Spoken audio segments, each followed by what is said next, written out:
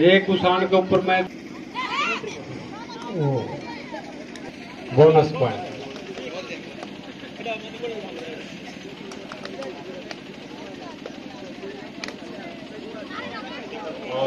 एक ज़्यादा पैसा भी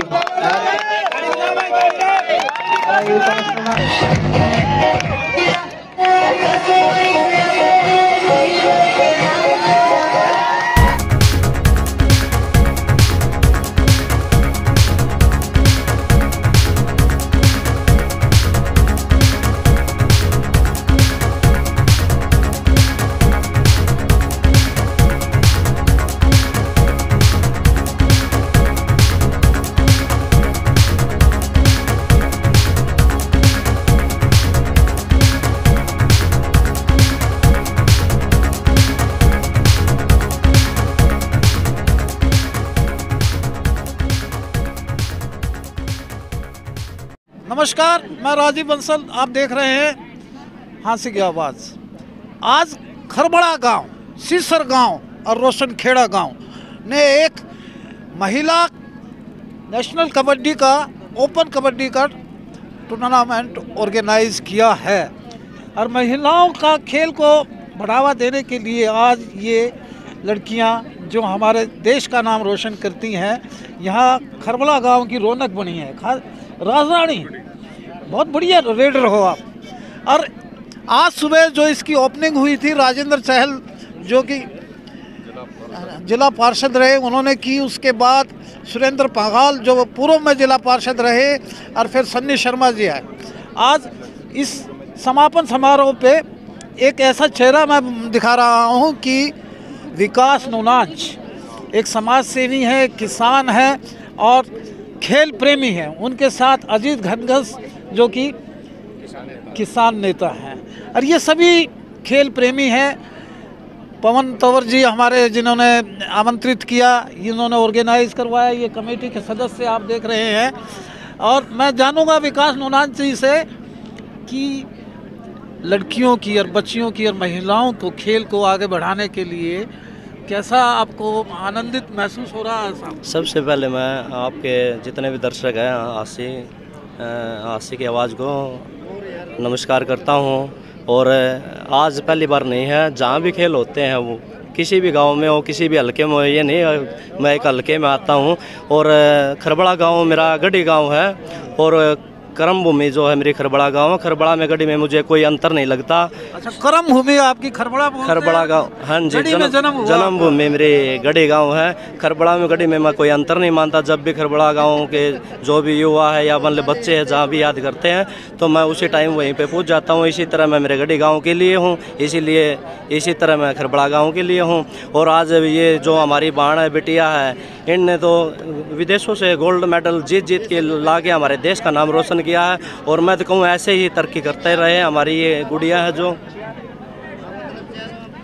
साहब आपने तिलक लगाया बच्चियों ने इन बेटियों ने तिलक लगाया है किसान नेता क्या कहना चाहते हैं बेटियों के बारे में जो ओलंपिक में और कॉमनवेल्थ में भी ये मेडल बच्चों लड़कों से ज़्यादा लेके आती हैं?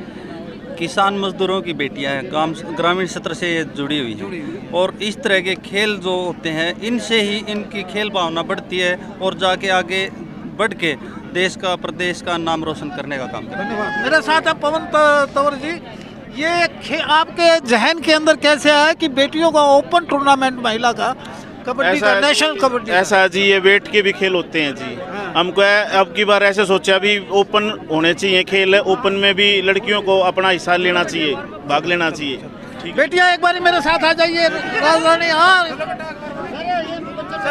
मैं ठंडा हो जाएगा में जिला पार्षद रहे हैं।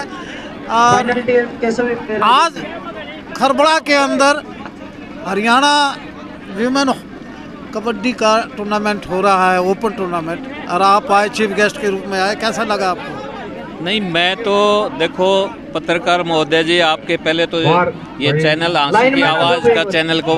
और इसके दर्शकों को बहुत बहुत बधाई देता हूँ। दूसरा ये कि ये सीसर खरबड़ा और रोशनखेड़ा तीनों गाँव एक ही गाँव से खरबड़ा से बसे हुए हैं। हाँ। तो इन इनमें ये जो युवा साथी है पवन है और यहाँ की जो खेल की कमेटी है। मैं भी इसी गाँव में जन्म हुआ है मेरा भी सीसर में। अच्छा। तो एज ए चीफ गेस्ट नहीं यहाँ का बच्चा होने के नाते मैं यहाँ आया हूँ ये तो चीफ गेस्ट ही आए थे ना। हाँ जी ये तो हमारे गाँव के जी हमारे जैसे हमारे गाँव में हर साल टूर्नामेंट होती है जी। और ये गेम से भी जुड़े हैं हमारा गाँव सीसर खरबड़ा खेड़ा हमारा कई सालों से गेमों से जुड़ा हुआ है। और गेम के प्रति है हमारे जैसे सुरेंद्र पंगाल जी है हर समय तैयार खड़े रहते हैं। चलो ये सुरेंद्र पंगाल जी आपका बहुत बहुत धन्यवाद। आप यहाँ पूरे स्पोर्ट्स को और स्पोर्ट्स लवर हो और इन बच्चियों को आशीर्वाद देने यहाँ पहुँचे। ये तो जी जैसे हमने शुरू में जी जस्सी पेटवाड़ को भी कहा था लेकिन उन्हें हमारे को टाइम दिया था टाइम देने के बाद भी नहीं आए जी वो।